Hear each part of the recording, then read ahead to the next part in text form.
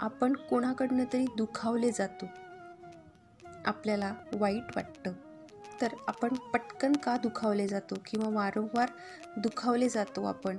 असं जर होत असेल असं का होतं?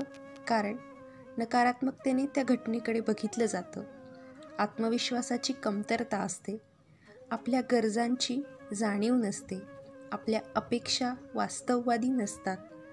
भीती चिंता ताण या भावनांना आपण वारंवार सामोरे जात असतो. यामुळे आपण पटकन दुखावले जातो. तर हे दुखावलं न जाण्यासाठी आपल्याला स्वतःच्या स्वभावाविषयी जाणून घ्यायचं आहे सेल्फ इस्टीम वाढवायचं आहे आणि आपलं आपल्याविषयीचंच मत चांगलं करायचं आहे स्वतःचा आदर करायला शिकायचं आहे धन्यवाद.